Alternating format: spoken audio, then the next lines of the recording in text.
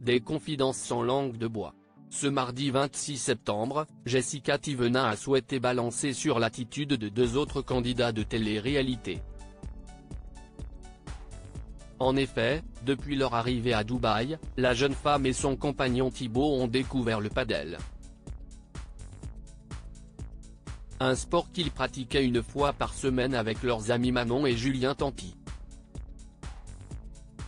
Mais visiblement, si est désormais du passé car ils auraient décidé de stopper cette petite activité hebdomadaire en raison du comportement du papa de Thiago et Angelina.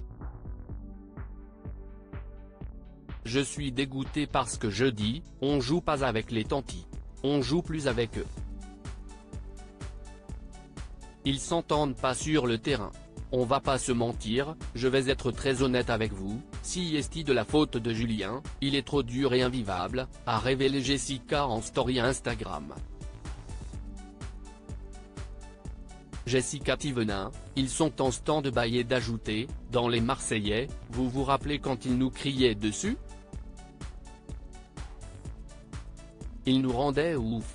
Ben, il fait pareil avec Manon sur le terrain. Il prend toute la place, on l'aimait beaucoup Julien, il est rigolo, mais parfois il est très énervant et du coup, ils ne s'entendent pas sur le terrain. Moi aussi je l'aurais étripé et je l'aurais accroché au filet donc on arrête de jouer avec eux. Ils sont en stand-by, ce que je comprends, je leur en veux pas. Une situation qui embête tout de même Jessica qui avait vraiment envie de jouer au padel. Fort heureusement, comme elle l'a dévoilé en story ce mercredi 27 septembre, la jeune femme a bien repris le chemin du terrain de padel, sans que l'on sache toutefois si ses amis Manon et Julien étaient de la partie.